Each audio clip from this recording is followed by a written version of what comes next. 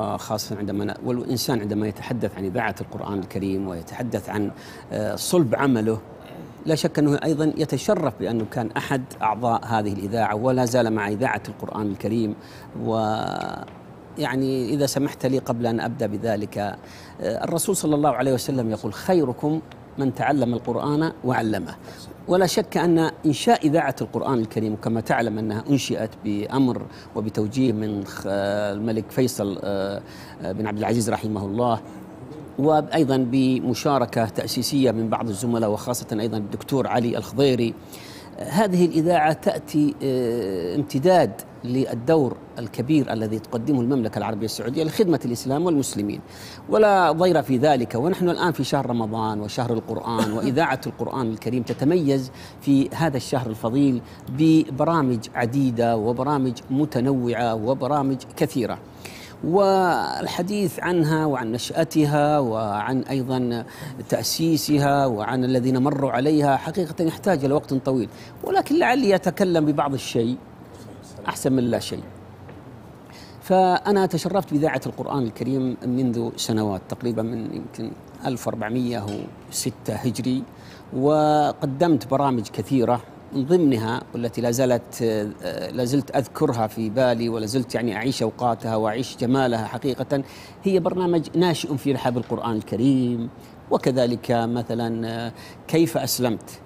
هذا البرنامج كيف أسلمت حقيقة له يعني آه، ذكريات جميلة معي خاصة عندما تقوم المملكة العربية السعودية اذاعه القرآن الكريم بتغطية المناسبات الخارجية خارج المملكة سواء في سراييفو أو في مثلا اندونوسيا أو في المسابقات القرآنية هذه. أكون أنا مبسوط أروح أساسا أغذي هذا البرنامج بلقاءات جديدة كيف أسلمت؟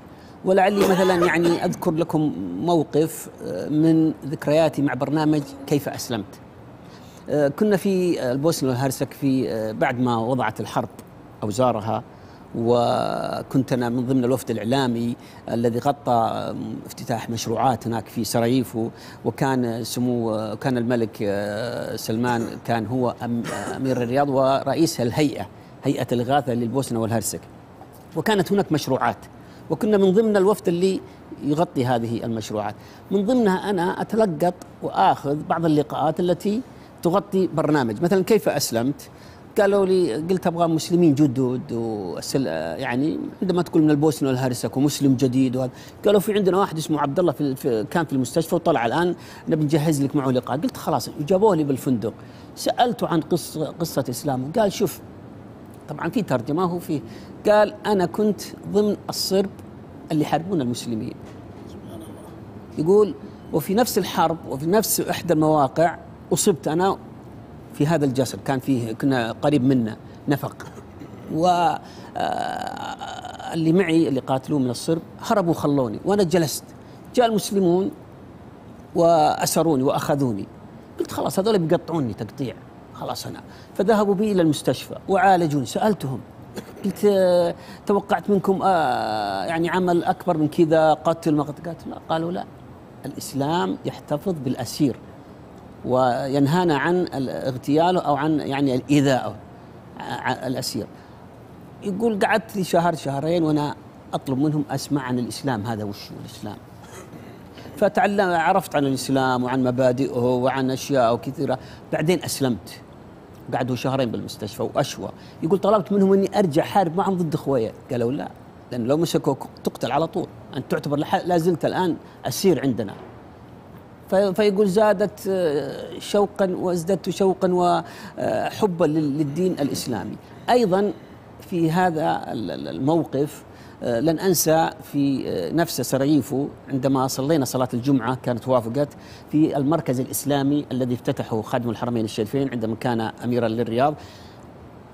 الإمام واللي يخطبه الشيخ عبد الرحمن السديس واللي يأذن علي ملا. تصور وأنا أمر من عندهم كنا نمشي حرم حرم حرم حرم بعد ما خلصنا حرم يقول كأننا في الحرم. وهم يبكون والله من الخشوع.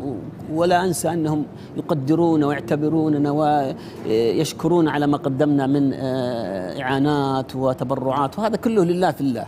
الحقيقة الحديث عن هذه الأمور هذه يعني ذو شجون.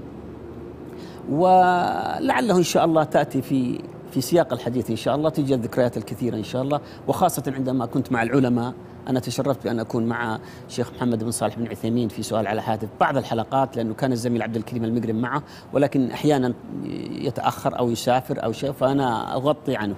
آه، أيضا مع آه، سماحة مفتي عام المملكة مع عدد من المشايخ ولي مواقف معهم إن شاء الله. جزاك الله خير. نعم. إحنا نغبطك الله الله يسلمك. ولعله يعني آه،